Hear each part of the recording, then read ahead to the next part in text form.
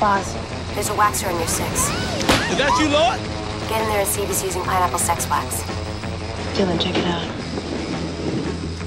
I got sand all in my ass. I can't hardly walk. Just blend in. Be cool, boss.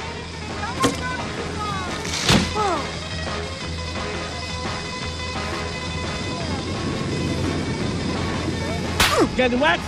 Great job, boss. Is that great? Huh? Mm-hmm. It's great. It's great.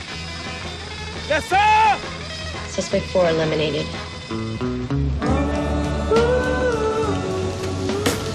What's up, Angel? Madison Lee? Natalie Cook? Oh my god! How did you know? I get the newsletter. Of course. wow, God, I've heard so many stories about you. You're my favorite angel. She won the Nobel Prize in Astrophysics for her research on flying mammals. And predicted Carmine DeSoto's every move by using the Cosmo bedside astrologer. I also set the clock on Charlie's VCR. And she invented the Muller mic. Dylan and Alex. Yeah. God, how I miss stakeouts. I know, aren't they the best? Lay my Miguel! Oh, only one waxer left. Wait a second.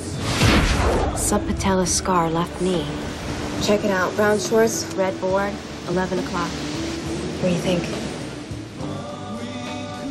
Yummy. That's what I thought. Case closed. Nat, move in. Dylan thinks he's hot. What do you mean?